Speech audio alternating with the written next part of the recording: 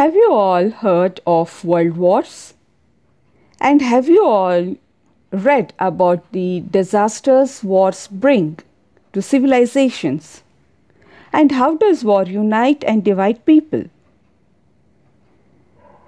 Have you ever thought the trauma of the survivors from the war?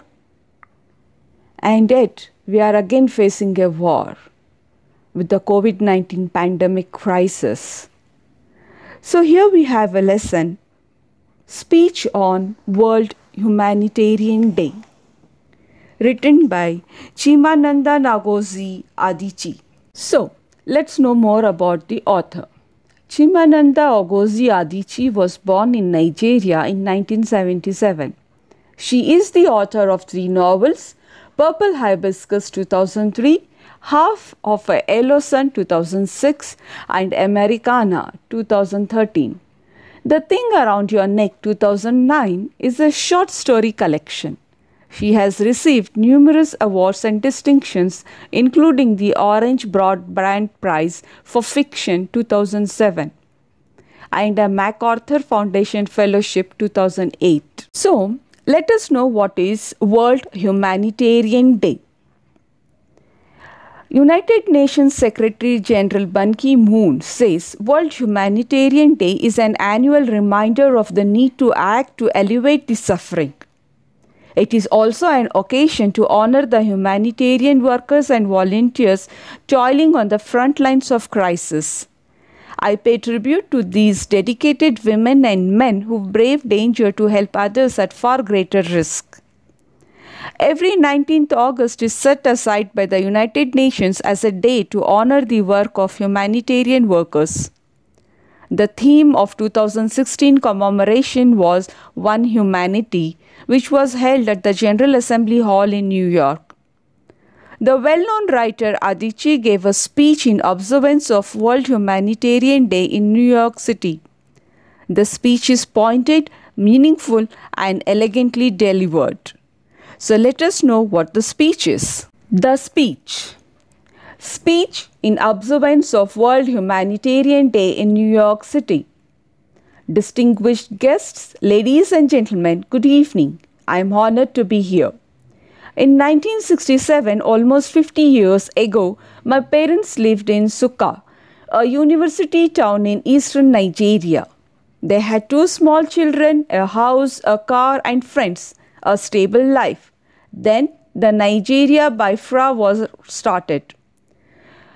Nigeria Biafra war started. Only days later, my parents heard the sound of shelling and gunfire. So frightening, so close that they had very little time to pack anything before they ran.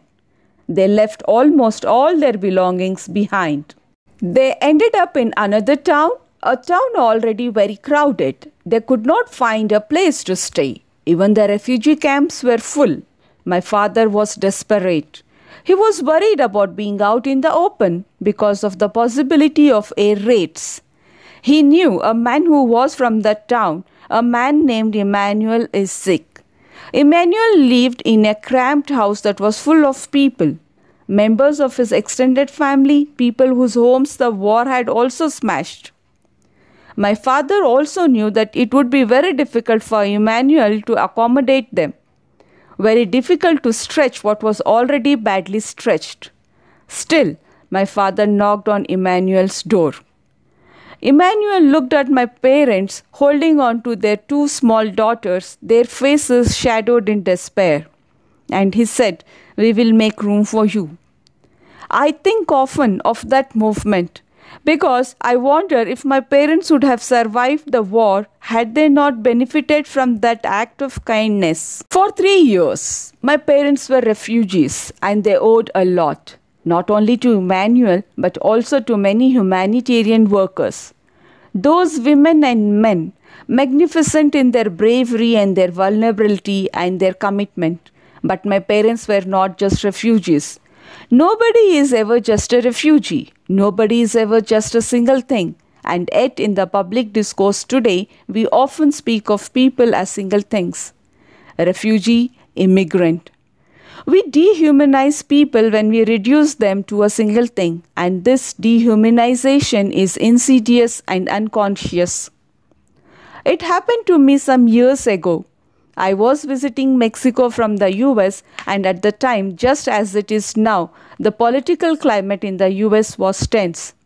And there were debates going on about immigration, and immigration was often synonymous with Mexicans, and Mexicans were all portrayed through a singular lens of negativity. There were stories about Mexicans being arrested at the border, stealing, fleecing the healthcare system, bringing disease. I remember walking around on my first day in Guadalajara, a beautiful city, watching people who were going to work and school, people who were laughing, people who were buying and selling in the market. At first, I felt surprised, and then I was overwhelmed with shame.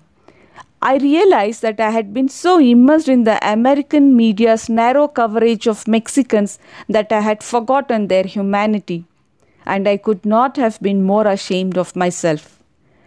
In my language, Igbo, the word for love in Igbo, the word for love is Ifunanya, and its literal translation is to see.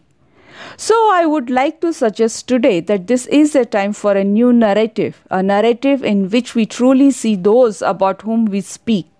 Let us tell a different story. Let us tell the story differently. Let us remember that the movement of human beings on earth is not new. Human history is a story of movement and mingling. Let us remember that we are not just bones and flesh, we are emotional beings. We all share a desire to be valued, a desire to matter. Let us remember that dignity is as important as food. When we speak of people who are in need, let us speak not only of their need but also of what they love, what they resent, what wounds their pride, and what they aspire to. What makes them laugh? Because if we do, then we are reminded of how similar we are in the midst of our differences, and we are better able to imagine ourselves in the same situation as those in need. We cannot measure our humanity, but we can act on it. Our humanity is that glowing center in all of us. It is what makes us speak up about an injustice, even when that injustice does not personally affect us. It is what makes us aware that we are better off if our fellow human beings are better off. It is what made Emmanuel, in his cramped home full of relatives, still open his door to my parents and say, We will make room for you. I'm not making the simplistic suggestion that all borders must be completely open because that is impractical. There might not be enough room for everyone, but there is certainly room to do more. There is room to honor more commitments, room to bridge the divide between what has been promised and what has been accomplished. Emmanuel could have said no to my parents, and he would have had understandable reasons for saying no. But he chose to say yes, and his reason for saying yes was his humanity. We can create room for people. And today, in this world that has been scared by so much suffering, creating room for people is not only doable, it is a moral imperative. It is the moral imperative of our time. And I would like to end with some words from the poet Samuel Coleridge. Work without hope draws nectar in a sieve, and hope without an object cannot live. Thank you. Analysis or theme of the speech.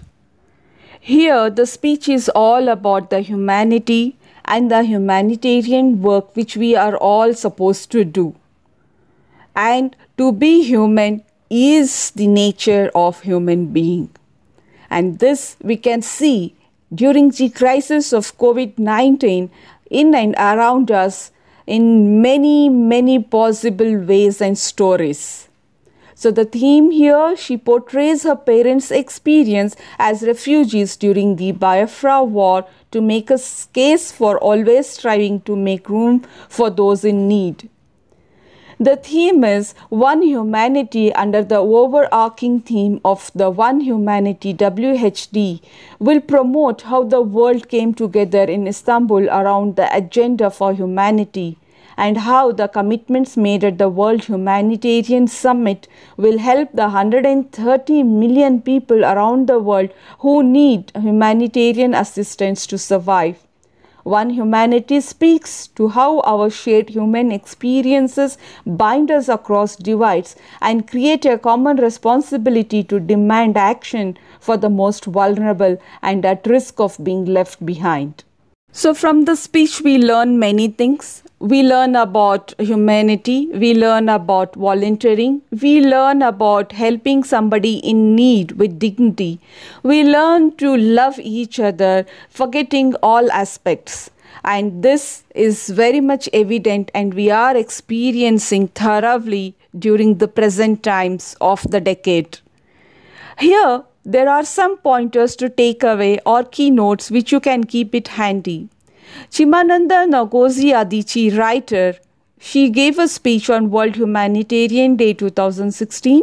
19th August 2016, award winning writer of Nigerian origin at the World Humanitarian Day event in New York and World Humanitarian Day is held everywhere every year on 19th August to pay tribute to aid workers who risk their lives in humanitarian service and to mobilize people to advocate for a more human world.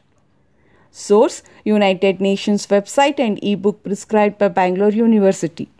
For any queries and doubts, mention in the comment section below. Stay home, stay safe. Signing off, Alia Naz.